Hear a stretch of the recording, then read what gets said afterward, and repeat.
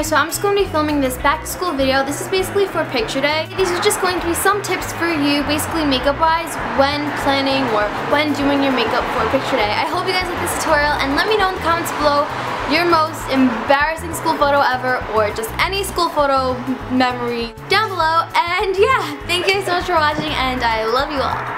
Mwah. So first using Benefits Erase Paste, I'm going to be using this peachy concealer to correct, well corrector, there you go, to correct my under eye dark circles, especially for pictures. It's going to really brighten up the eye area and get rid of all your dark circles. Since I ran out of my Makeup Forever HD foundation, I'm going to be using my Revlon Color Stay foundation just because it has a low SPF, which is really essential when taking pictures. And here I'm going to be buffing this into my skin to create a flawless and airbrush look with my Sigma F80 Flat Top Kabuki brush, which is seriously my favorite brush ever. And to stay as matte as possible, especially for pictures, I'm just going to be dusting the Rimmel Stay Matte Powder all over my face.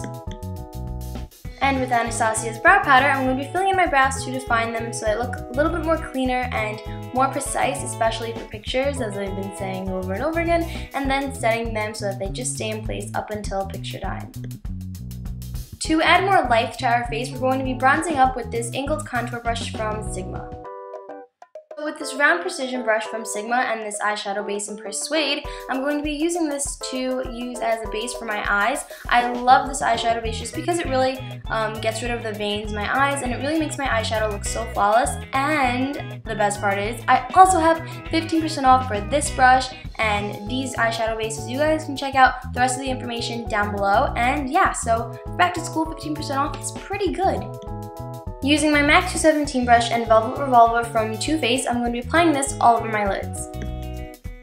And like I usually do, I'm going to be taking MAC Soft Brown and using the same brush to apply this as a transition color on the outer parts of my eye, as well as Naked Lunch, also from MAC, and applying this on the first half of our lids. This is going to be the only shimmer we're using in the look. Adding a little bit more depth to the eyes, I'm going to be using MAC Swiss Chocolate on the outer parts of our eyes. And don't forget to blend.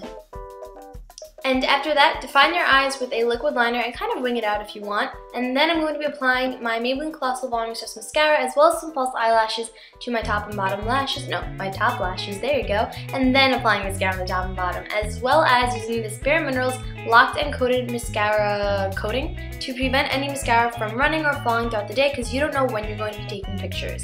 And then finally, with this blush, this is Dolly Mix from MAC, and applying this just to add a little bit more of color that the camera can sort of wash out, as well as this NYX Soft Matte Lip Cream in Antwerp, um, which is really just going to recreate more color on your lips, look a bit more livelier.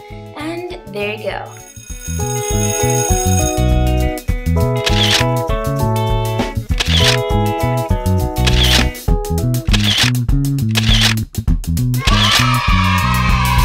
So thank you guys so much for watching. I hope you guys enjoyed this tutorial. Please let me know in the comments below your most embarrassing school photo or just most embarrassing moment in school. How about that? Thank you so much for watching and don't forget to stay updated by following me on Instagram at ChristinaRose2141 for different makeup posts and just different things such as um, awkward selfies as this one.